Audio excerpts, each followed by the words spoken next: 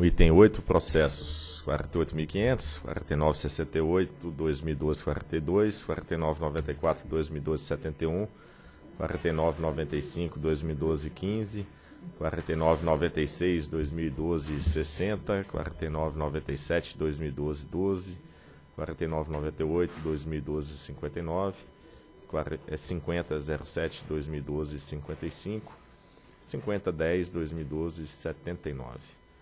Pedidos de reconsideração interposto por Jorge Queiroz Moraes Júnior, Carmen Campos Pereira, José Carlos Santos, Ariel Vilches, em face do despacho 1153 de 2014, que aprovou o relatório final elaborado pelo GT Intervenção, relativo ao inquérito administrativo de comprovação das causas determinantes e apuração de responsabilidades pela intervenção nas distribuidoras do Grupo Rede. Diretor relator, doutor José Grosa, informo que há pedido de sustentação oral. Ok. É, eu acho que esse daqui é, é, um dos últimos pontos que temos né, ainda para deliberar sobre, sobre a intervenção. Então, por meio do despacho 1153 de abril de 14, a diretoria da ANEL decidiu, primeiro, aprovar o relatório final elaborado pelo Grupo de Trabalho de Intervenção relativo ao inquérito administrativo de comprovação de causas determinantes e a apuração de responsabilidades pela intervenção das distribuidoras do Grupo Rede. Dois, indiciar Jorge Queiroz Moraes Júnior, Carmen Campos Pereira, José Carlos Santos, Ariel Vilques, por participação nos eventos que culminaram com a intervenção. Manter o bloqueio administrativo dos bens desses indiciados e encaminhar cópia do referido relatório, bem como da auditoria realizada pela PricewaterhouseCoopers, Contadores Públicos Limitada, e outros documentos considerados importantes para a CVM, para o Banco Central, Polícia Federal e Ministério Público Estadual e Federal. Em fase da decisão, os indiciados interpuseram pedido de reconsideração requerendo o seguinte. O senhor Jorge Queiroz de Moraes Júnior alega que o procedimento de indisponibilidade é inconstitucional adotado com base nas suposições unilaterais e sem um procedimento que deixe claro qual será o órgão competente que deve promover o desbloqueio. Sustenta que a manutenção do bloqueio dos bens não se justifica com a aprovação do plano de recuperação por parte da ANEL, uma vez que não há qualquer prejuízo passivo de reparação. Ao final, requer a reconsideração da decisão que manteve a disponibilidade de seus bens. A senhora Carmen Campos Pereira invoca a nulidade do processo administrativo por violação aos princípios do contraditório, de ampla defesa do devido processo legal. Alternativamente, requer que seja reconhecida a perda superveniente do interesse da ANEL com relação ao bloqueio dos bens, uma vez que a empresa que adquiriu o controle do Grupo Rede assumiu os ativos e passivos das concessionárias do antigo controlador, inexistindo prejuízos a serem ressarcidos o senhor José Carlos dos Santos e o senhor Ariel Wilkes afirmam que não tiveram participação na condução das atividades que resultaram na intervenção das concessionárias do Grupo Rede. Noticiam que o plano de recuperação das concessionárias prevê o acerto das pendências em relação ao resgate de aplicações financeiras do Banco da Ecoval, bem como a devolução de todos os mútuos pendentes entre holding e concessionárias, não existindo prejuízo algum às, às empresas. Reiteram que a indisponibilidade dos bens dos administradores é inconstitucional.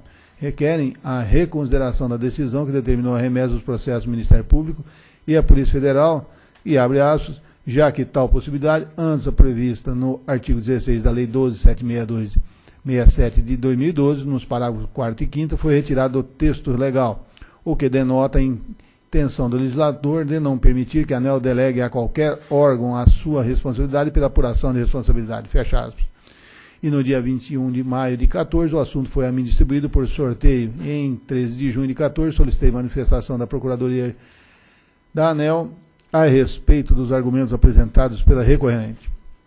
Em 27 de outubro, a Procuradoria opinou pelo conhecimento e parcial provimento dos pedidos de reconsideração no seguinte sentido.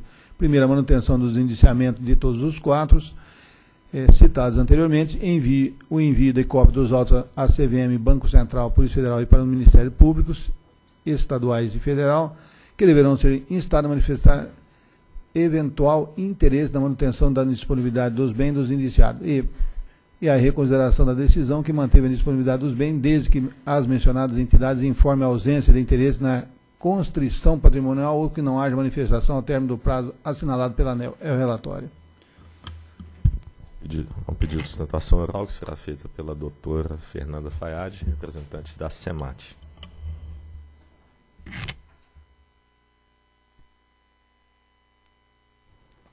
Bom dia a todos os presentes.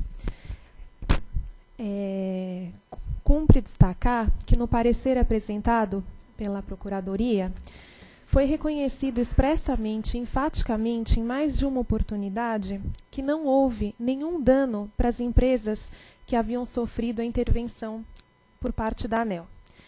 E o, esse mesmo parecer reafirma o que a ANEL vem sustentando ao longo desse processo, que o bloqueio visava assegurar uma futura reparação civil. Ora, cumpre destacar que só existe reparação civil com a conjunção de três fatores: um, um, ato danoso, um nexo de causalidade e o dano. Nesse caso, está evidenciado que não existe o dano. Portanto, sem dano não existe responsabilidade a ser reparada, e nessa medida não se faz necessário que o bloqueio seja mantido. Ora, a Procuradoria, ao reconhecer que não houve dano, simplesmente reiterou o entendimento anterior da própria agência que não havia dano, da mesma forma que reiterou o relatório da PricewaterhouseCoopers, que também não reconheceu nenhum dano às concessionárias, e também por parte do interventor, que não apontou nenhuma espécie de dano para nenhuma das concessionárias envolvidas. Dessa forma, sob qualquer hipótese que a gente analise a questão, resta evidenciado que realmente não existe nenhuma espécie de dano. Isso por quê? Além de ter havido transparência nas, nas operações realizadas, que foram apontadas como irregulares, o que se nega, essas transferências elas foram desfeitas e, como apontado pelo próprio relatório, o dinheiro já foi até mesmo devolvido. Além disso, é, além disso, foi aprovado o plano de recuperação do Grupo Rede Energia, inclusive por essa agência, e a intervenção foi encerrada. Dessa forma, a própria agência, a própria ANEL, concluiu que as questões financeiras estão saneadas. Com relação a esse ponto, eu chamo a atenção para os itens 93, 94 e 102 do parecer da Procuradoria, que reiteram esse ponto. É, ainda que se entendesse pela necessidade de averiguar a responsabilidade dos ex-administradores por qualquer uh, âmbito, seja ele no âmbito uh, penal ou mesmo alguma, algum, outro, uh, algum outro tipo de é, algum outro tipo de responsabilidade, o que também se nega, porque até o momento não foi apontada e nem individualizada nenhuma responsabilidade apta a gerar continuidade desse, desse inquérito, é, nada impede que o Ministério Público venha adotar futuramente medidas para garantir eventual responsabilidade, que no caso inexiste, porque não, não existe nenhum tipo de dano. Uh, da mesma forma, o texto da Lei 12.767 de 2012, que foi a lei que deu ensejo à instauração desse, desse inquérito e das intervenções, ela não prevê a manutenção do bloqueio após encerrada a apuração de responsabilidade no âmbito dessa agência. Dessa forma, a partir desse ponto, encerrou-se qualquer tipo de averiguação por parte da agência das responsabilidades. Então, além de não haver dano, não há justificativa para que o bloqueio continue. A continuidade do bloqueio, além de violar o princípio da razoabilidade, porque todo o patrimônio dos ex-administradores estão bloqueados, também é abusiva com relação ao direito de propriedade. Eu destaco que, inclusive, o inquérito deveria ter sido encerrado no prazo de um ano, foi prorrogado, já se passaram mais de dois anos e os bens continuam integralmente bloqueados, não só causando absurdo prejuízo para os ex-administradores, como para as famílias que deles dependem. Isso porque, além de eles estarem desempregados no presente momento, eles estão impedidos de fazer uso dos bens que eles amealharam ao longo de mais de 20 anos de vida dedicada ao setor elétrico. Então, dessa forma, é, os, os administradores entendem que, diante da ausência de dano expressamente reconhecida pela ANEL, pela Price, pela Procuradoria e pelo interventor, não existe o requisito fundamental para a responsabilidade civil.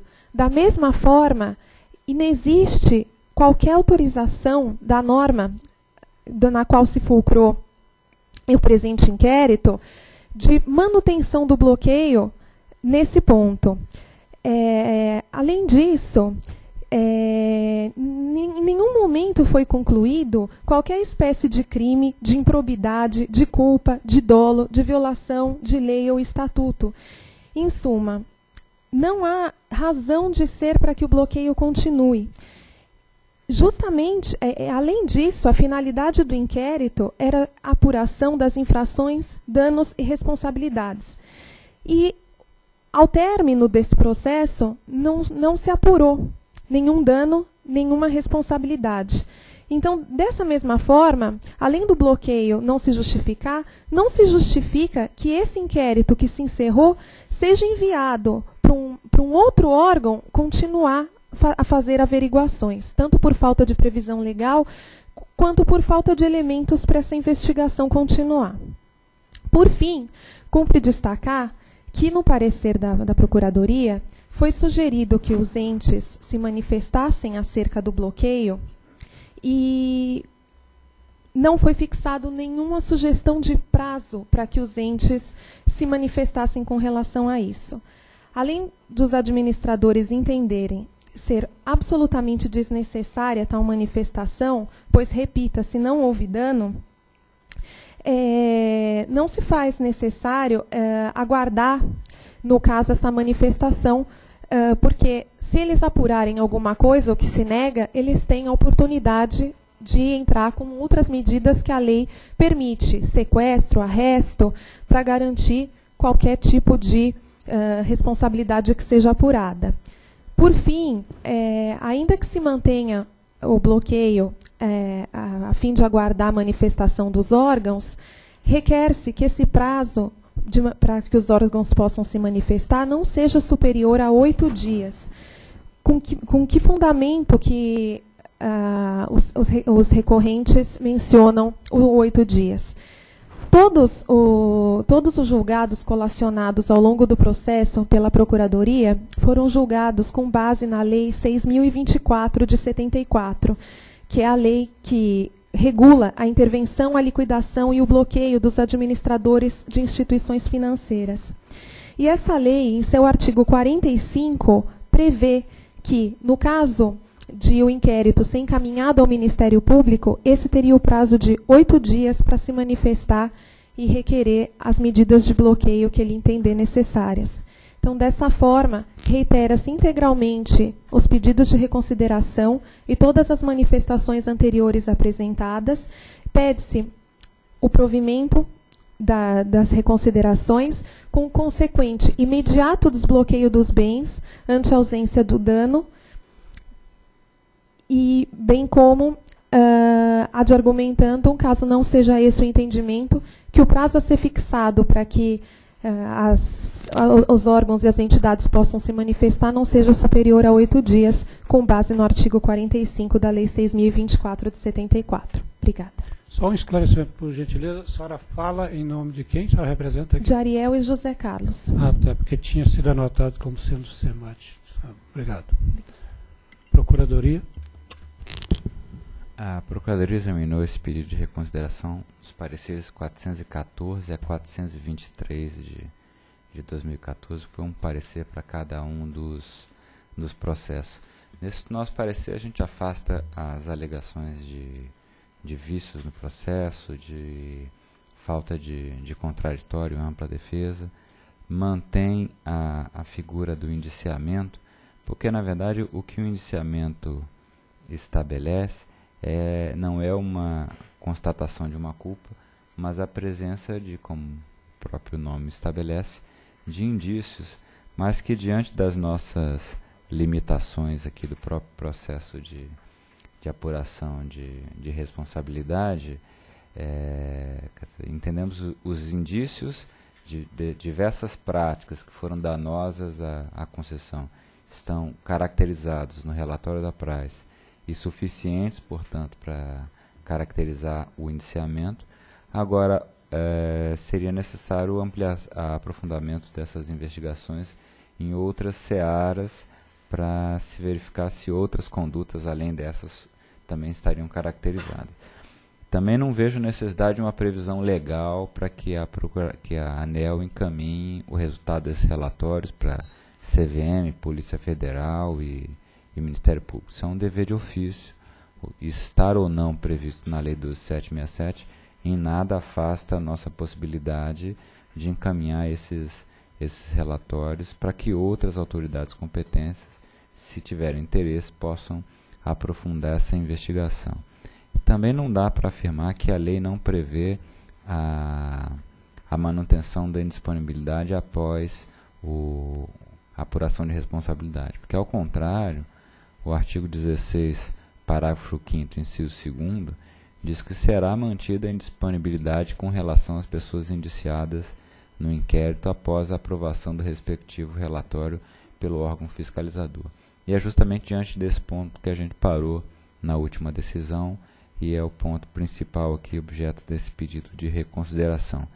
Dado que a lei estabelece claramente que mantém-se a indisponibilidade, a Procuradoria, claro, sem declarar a inconstitucionalidade desse dispositivo, até porque não teria competência para isso, fez uma interpretação finalística desse dispositivo.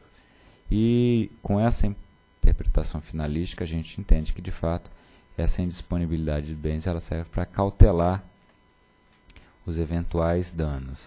E o fato da gente identificar que não, não temos danos aqui do ponto de vista regulatório não significa que esse dano não existe em qualquer seara.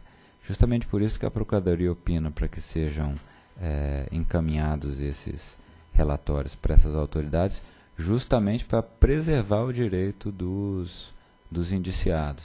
Acho que isso é uma medida que mais os beneficia do que os, os prejudica. Porque se esses órgãos se manifestarem entendendo que não enxergam também indícios de prejuízo nas matérias que são de sua própria competência, então, na medida que a gente reconhece que do ponto de vista regulatório não há o prejuízo, a consequência finalística, embora não seja essa literalidade da, da lei, seria o levantamento da, da indisponibilidade. E caso esses órgãos entendam sim que há elementos né? Aí seria o caso de dar-se um passo seguinte, que é um prazo para que eles substituam essa indisponibilidade decorrente da lei do 767 por uma decisão judicial que eles obtenham para converter essa indisponibilidade de bens de uma administrativa pela ANEL por uma indisponibilidade judicial nos, nas ações que esses órgãos eventualmente ajuizem. Então, portanto, entende a Procuradoria que é perfeitamente adequado esse, esse encaminhamento e é nesse sentido que a Procuradoria opina pelo provimento parcial do pedido de reconsideração. É, os pedidos de reconsideração foram interpostos tempestivamente e, portanto, devem ser conhecidos. E no mérito, o parecer da PGE é exaustivo e não deixa margem para dúvidas. Razão pela qual entendo que a sua recomendação merece ser acolhida na íntegra. Se não, vejamos contra a alegação de inconstitucionalidade da Lei nº 12767, de 2012. O entendimento dos indiciados à Lei 12766, que é inconstitucional no que se refere à indisponibilidade dos bens dos administradores das concessionárias de serviço público de energia elétrica sob intervenção. E sobre o assunto, a PGE esclareceu que a ANEL não é a área adequada para discutir a constitucionalidade ou inconstitucionalidade da referida lei, mormente quando o objetivo é afastar sua aplicação, pois o administrador não possui esse poder. E ressaltou a PGE que, de acordo com o princípio da presunção da constitucionalidade das leis dos atos normativos do poder público, uma norma somente perde sua validade e eficácia mediante a declaração judicial obtida no controle concentrado da constitucionalidade ou por força de resolução do Senado Federal e, na hipótese da constitucionalidade, ter sido reconhecida incidentalmente por decisão definitiva do Supremo Tribunal Federal. Ademais, isso, o nosso procurador-geral, ele, ele já fez bem essa, essa caracterização, mas eu acho que é importante, dado a relevância do tema, eu fazer essa leitura. Além do mais, observou a PGA que, ao contrário do que sustenta os recorrentes, o referida lei não inovou no mundo jurídico ao prever a degradação da indisponibilidade de bens diretamente da administração pública. Para exemplificar, a PGE citou a Lei 6024 74, que atribuiu ao Banco Central do Brasil o poder e dever de tomar disponíveis bens dos administradores e gestores de instituições financeiras submetidas à intervenção. Ainda sobre o tema, a PGE transcreveu a decisão do, do STF e do STJ, consagrando o entendimento de que a disponibilidade patrimonial configura-se como um instrumento de fundamental importância para se assegurar a concreção dos objetivos da intervenção extrajudicial, pois visa que o administrador da instituição venha a se desfazer dos seus bens, dificultando a liquidação de sua responsabilidade civil. Portanto, não merece prosperar os argumentos de inconstitucionalidade da Lei 12.767. Quanto à alegação da violação dos princípios do contraditório da ampla defesa do devido processo legal, a indiciada Carmen Campos Pereira alegou que, quando chamada para se defender, já encontrou o processo instruído. Assim, entende que o processo administrativo é nulo por violação dos princípios do contraditório, da ampla defesa do devido processo legal. A alegação de nulidade não merece ser acolhida. Isso porque, conforme salientou a PGL, o contraditório pode se desenvolver de duas maneiras, antecipada e diferida. Em casos excepcionais, a adoção de medida restritiva dos direitos sem a prévia manifestação de interesse se dá justamente para garantir a eficácia da medida e do entendimento do interesse público, o que não significa que não de, se deva assegurar ao interessado a possibilidade de defesa. No momento da intervenção administrativa que resultou na suspensão do mandado do administrador e membro do Conselho Fiscal, não se fazia necessário intimar previamente os então administradores da rede de energia para acompanhar a fiscalização da ANEL ou para produzir provas.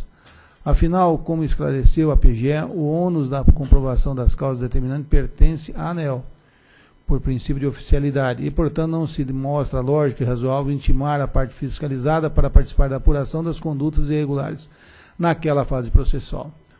Ainda sobre essa questão, vale ressaltar que o processo administrativo previsto no artigo 6 da Lei 12767 de 12 a semelhança do inquérito policial, possui natureza meramente informativa, dispensando o contraditório prévio, já que os fatos são sob investigação. E nesse entendimento, conforme observou a PJ, está pacificado pelo STJ.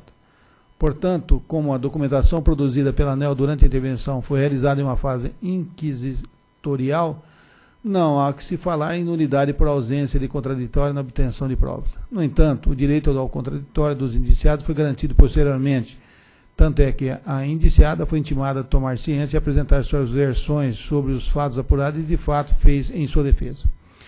O que sucedeu foi que a diretoria não se convenceu das teses apresentadas nas defesas e tomou decisão constando do despacho 1153 de 14.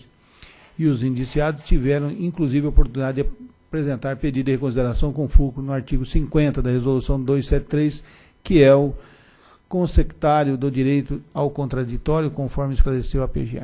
E, por fim, ressalta-se que, como material probatório produzido pela ANEL observou as normas constitucionais legal, legais, a tese de que as provas colhidas durante a intervenção foram obtidas de forma ilícita também não prospera.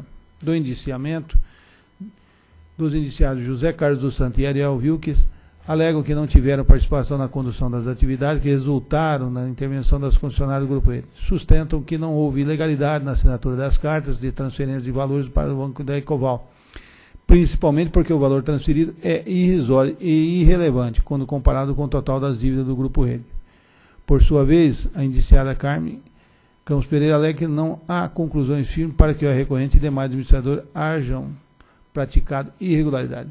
A respeito desse argumento, a PGE esclareceu inicialmente que o inquérito conduzido pela ANEL, por si só, não tem aptidão de condenar ou inocentar qualquer dos dirigentes das concessionárias que sofreram intervenção, o que eventualmente será feito pelas autoridades competência e na instância judicial própria, ocasião em que as partes exercerão o contraditório pleno. Em outras palavras, o indiciamento por parte da ANEL representa um juízo de probabilidade e não de certeza em relação à responsabilidade de ato ilícito, razão pela qual as conclusões do inquérito não são vinculantes. Assim, para melhor entender as razões que levaram ao indiciamento dos mencionados quatro ex-dirigentes, entendo oportuno transcrever a conclusão do relatório do Grupo de Trabalho e Intervenção, da qual fez a Procuradoria a sua manifestação. Se não vejamos. A quase unanimidade das defesas apresentadas aponta São Paulo como gerador das decisões estratégicas do grupo. Os dirigentes das empresas de distribuição não participavam, senão na execução das decisões realmente impactantes na condução dos negócios.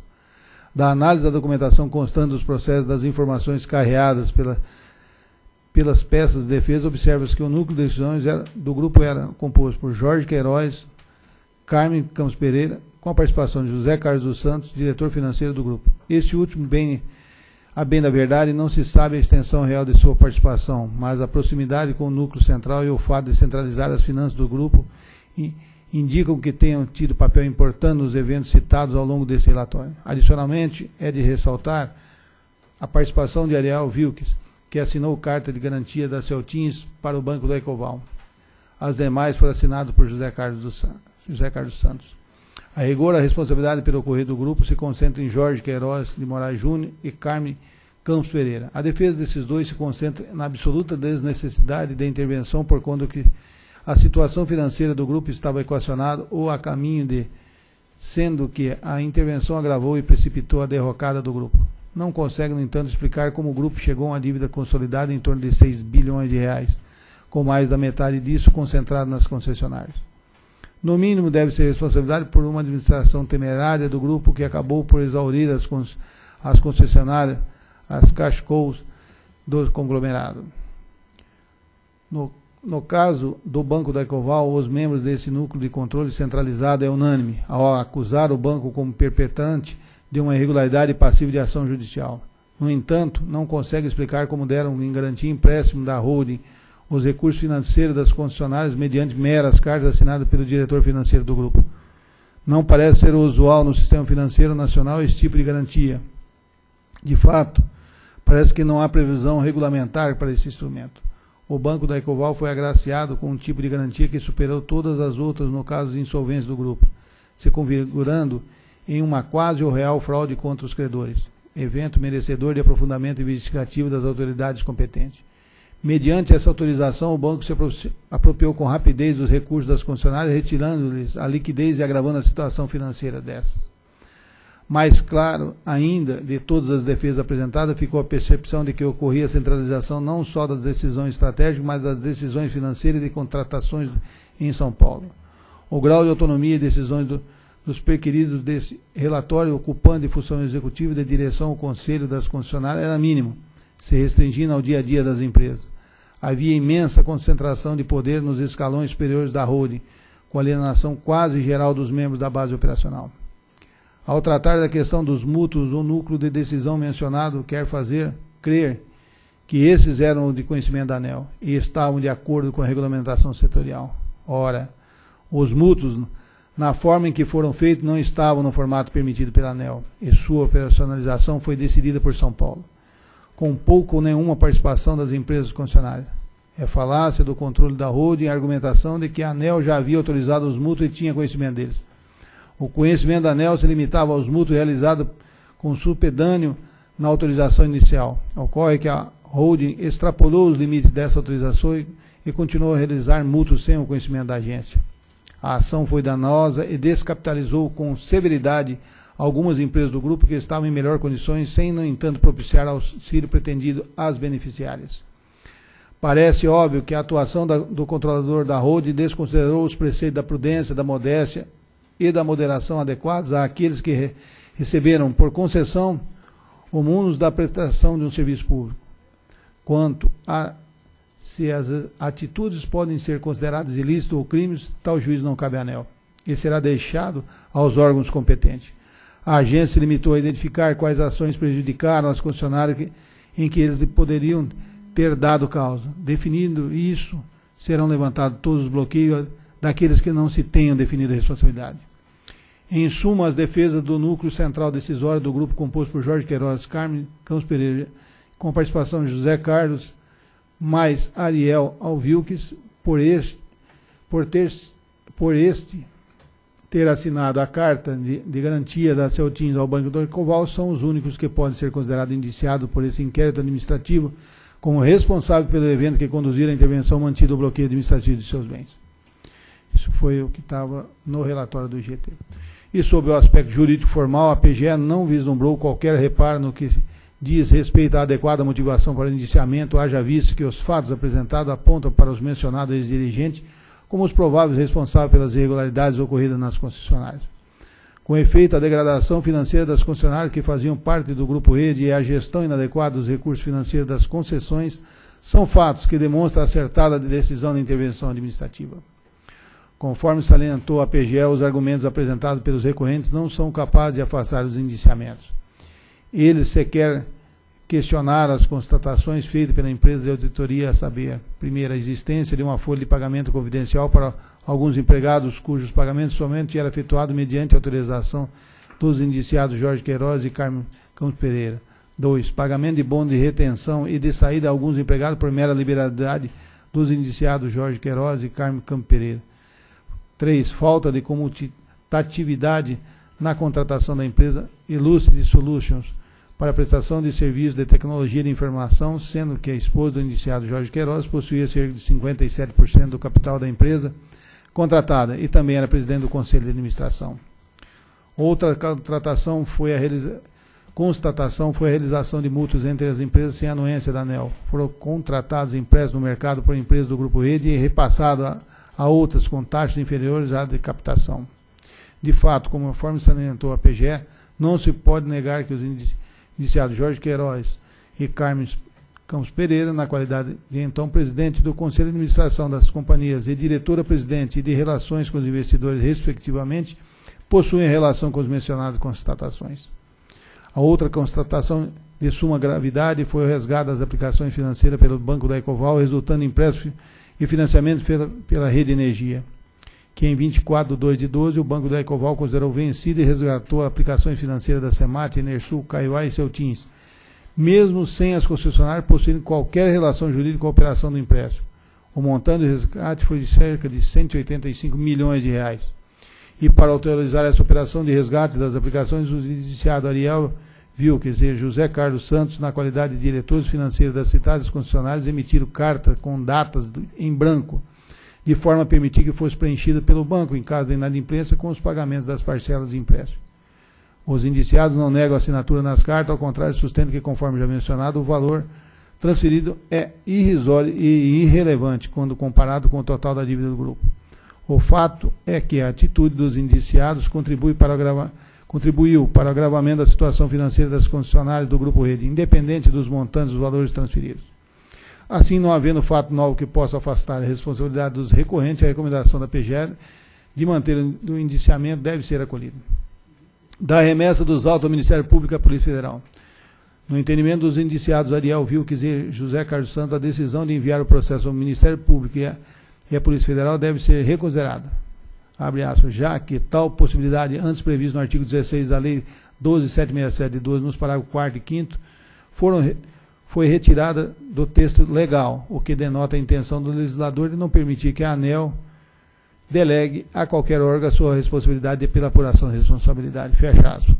E sobre o assunto, a PGE informou que, de fato, o parágrafo 5 do artigo 16 da Lei 12767 foi vetado pela Presidente da República, que dispunha que, abre aspas, concluído o inquérito pela inexistência de prejuízo, será ele, com o respectivo relatório, emitido ao Ministério Público, observado o seguinte procedimento, fecha aspas.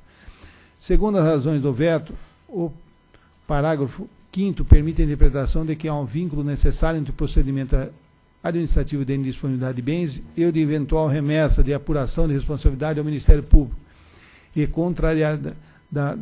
e em contrariedade ao procedimento proposto. Fecha aspas. No entanto, a PGE esclareceu que a intenção do legislador não foi a de vedar o envio do relatório produzido pela ANEL ao Ministério Público. Ao contrário, deixou claro que o encaminhamento ao órgão ministerial poderá ser feito independente da existência de prejuízo à concessionária. Portanto, Basta haver indício de irregularidade que recaia sobre os responsáveis pelos atos que culminaram com a intervenção administrativa para envio do relatório ao Ministério Público.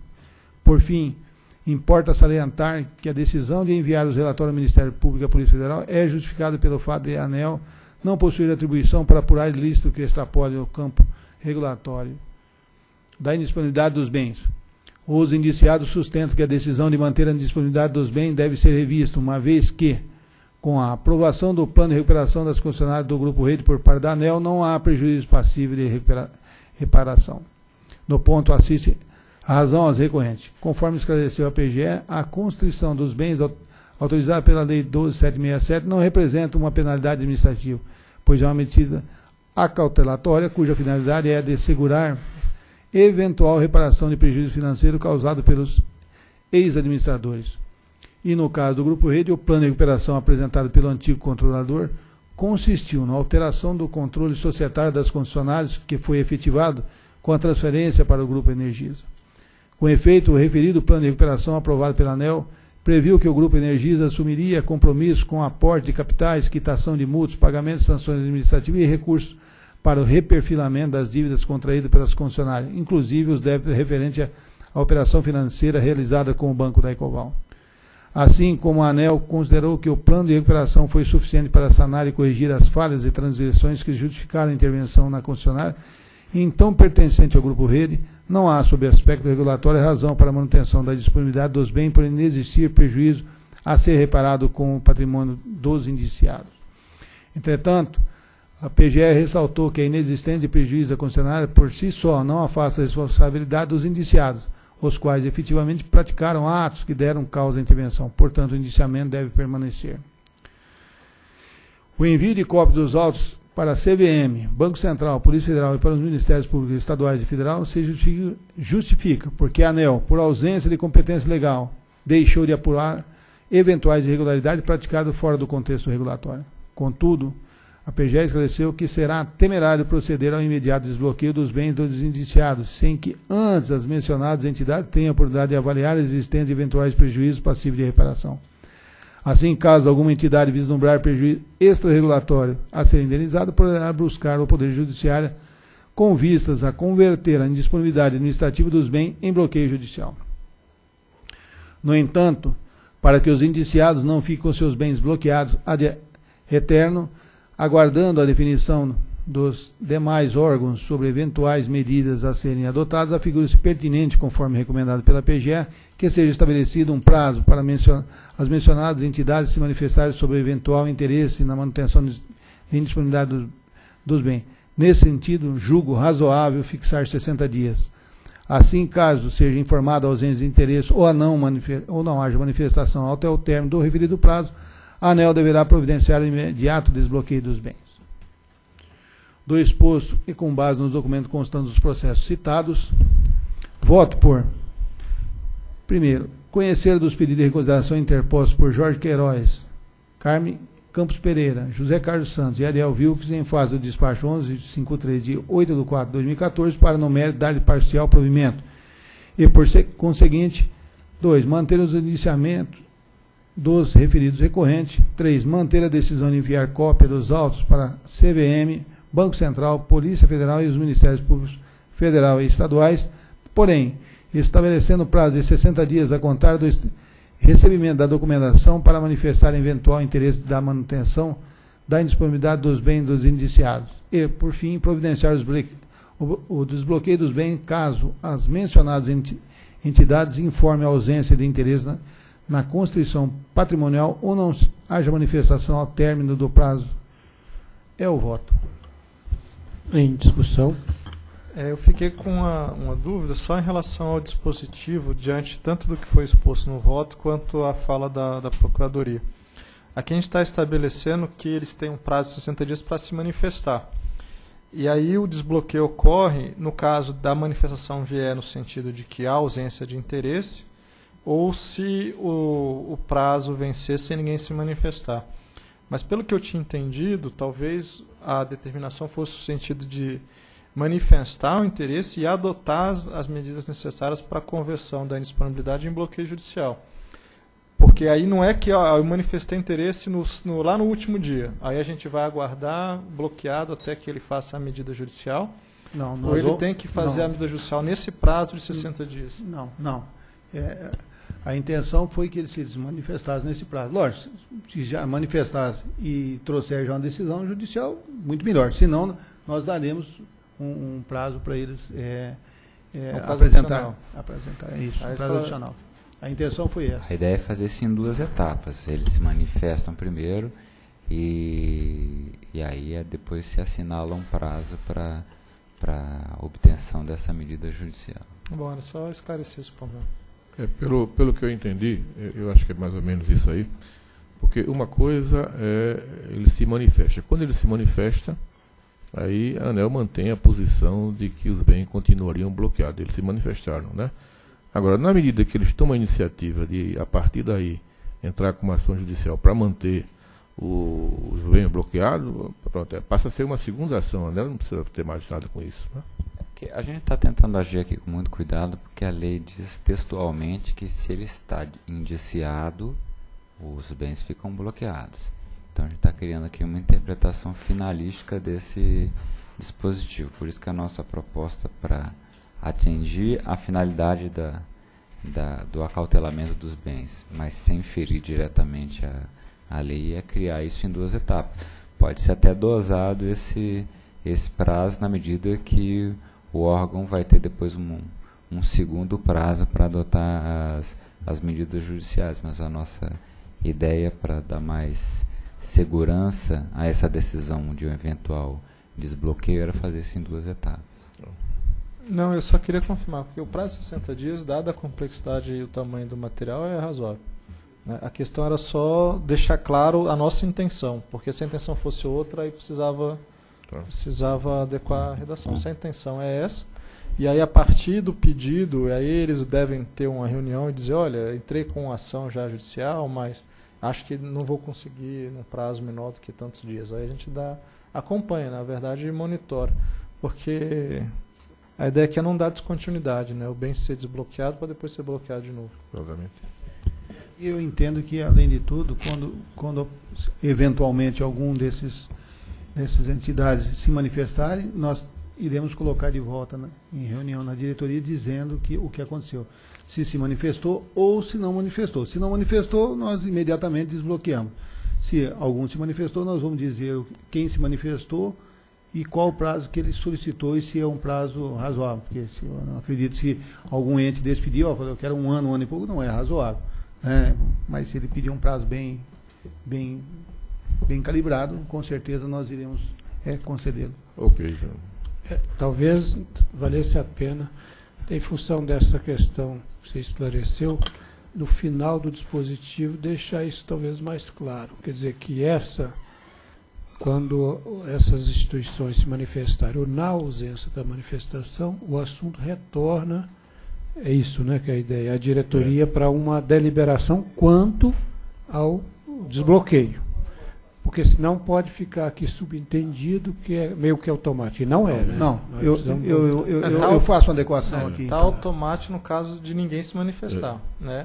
Não, mas todo Não, dia ainda não, não tá. assim nós teremos que Nós temos. É, Nós não, temos porque está aqui, ó, providenciar o desbloqueio dos bens caso as mencionadas entidades informem a ausência de interesse ou não haja manifestação. Isso. Então só teria que colocar o seguinte na hipótese de haver manifestação, retorna Não, diretoria. não, Não, não. a ideia Em dele é qualquer caso. retornar em qualquer hipótese. Qualquer hipótese. Eu Nós acho que que tá dar correto. publicidade que nós estamos É, dis... eu acho vão, tá vão, vão partir do, do princípio que eles não se manifestam.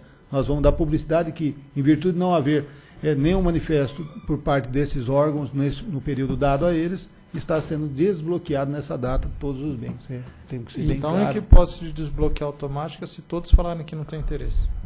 Ou ainda nessa Não, hipótese? eu Mesmo acho que automático não. nesse- O, Não, o inciso 4 é mais para dar uma previsibilidade dos É, próximos passos do que já ser um- uma Tá. decisão de É desbloqueio melhor automático. então não, É. não falar. dizer Talvez retorna- acrescentar aqui que nessa na, na hipótese aqui, mudando a redação, Isso. portanto, é, o assunto retornará à deliberação da diretoria para decidir quanto a isso. Não é isso? Eu acho, é eu acho que em qualquer hipótese ele Isso. volta a deliberação. É, eu acho que eu vou prazo. deixar aqui, em qualquer hipótese, Perfeito. o, o, o assunto voltará para nova deliberação de fim diretoria. do prazo, né? Isso, fim Fim do prazo. prazo, Fim do o, prazo. o assunto retorna. Havendo Isso. manifestação ou Ou ausência não. dele, ele retorna. Isso, É isso? é isso, é bem isso. Exatamente. É. Bem, eu, eu queria fazer primeiro um comentário, parabéns aí ao relator e à equipe que trabalhou, eu acho que está muito denso aqui, muito é, é, apropriado aqui o, o relato, e, e eu acho que a própria análise que foi feita pelo relator, é, de fato, contrapõe o que foi argumentado na sustentação oral, porque não- longe disso não ter causado um prejuízo importante para as empresas. É evidente que só o fato dela chegar no ponto que chegou, ter que ser decretada uma intervenção administrativa, todo o processo que levou essa discussão no, no âmbito judicial, em função do da próprio pedido de recuperação judicial da Hold. Né? Depois o plano de transição que tivemos que é, estabelecer para a recuperação das empresas. É claro que essa condução que foi feita pelo antigo controlador do Grupo Rede, trouxe prejuízos às empresas e às concessões, não há dúvida disso. Eu acho que o relatório está bem consubstanciado nesse ponto. Né? Então, acho que está tá bem aqui relatado. E quanto a esse último ponto, doutor Jorge, eu acho que deve ser já a sua intenção na condição de relator, mas é, acho que, dado essa, essa definição agora de um prazo, é, a importância de fazer a interação junto a essas instituições, porque o ideal é que ela manifeste. Né? A ausência de manifestação é uma, é uma, uma circunstância indesejável, digamos assim. Então, o ideal é a gente fazer a interação junto a todas elas, né? isso para buscar uh, sensibilizá-las no sentido que nesse processo elas se manifestem, por qualquer que seja né, a conclusão. É, então, a, imagino que você está é, pensando a, em fazer é, essa. A, a, intenção é que a gente encaminhe inicialmente via um ofício assinado pelo diretor-geral. Uhum. Com a cópia de toda a documentação, deixando claro isso daí, né? Uhum. Solicitando que ele se manifeste, é, ou sim ou não, nesse prazo. Né? Uhum. É importante que esse mas se for, for é, intenção e, e, a diretoria entender assim, nós faremos a, uma, uma interação, pessoal sobre é. o assunto, não tem problema nenhum. Eu também posso tá. ajudar, posso Isso. fazer também nesse sentido, tá. porque são várias instituições, Isso. eu acho que é, quer dizer, a melhor instrução é dar mais conforto quando eles manifestarem. Claro. Por, um, por um lado ou por outro. Ok, então, em votação. Com o relator. Eu voto com o relator. Também voto com o relator. Também voto com o relator. Então, proclamo que a diretoria decidiu por conhecer e dar dos pedidos de reconsideração interpostos pelo, pelos dirigentes, aí, os antigos dirigentes do Grupo Rede, Jorge Queiroz de Moraes Júnior, Carmen Campos Pereira, José Carlos Santos e Ariel Viches. Viches, é isso? Em face do despacho 1153 de 8 de 4 de 2014 para, no mérito, dar-lhes parcial provimento e, por conseguinte, manter os indiciamentos dos referidos recorrentes, manter a decisão de enviar cópia dos autos para a Comissão de Valor Imobiliário, CVM, Banco Central, a Polícia Federal e os Ministérios Públicos Federal e Estaduais, porém estabelecendo prazo de 60 dias a contar do recebimento da documentação para manifestarem eventual interesse na manutenção da indisponibilidade dos bens dos indiciados, providenciar o desbloqueio dos bens, quer dizer, submeter novamente o processo à diretoria com vistas a, a desbloqueio dos bens, caso os, os, mani, as mencionadas entidades informem a ausência de interesse na constrição patrimonial ou não haja manifestação até o término do referido prazo. É isso. Próximo item.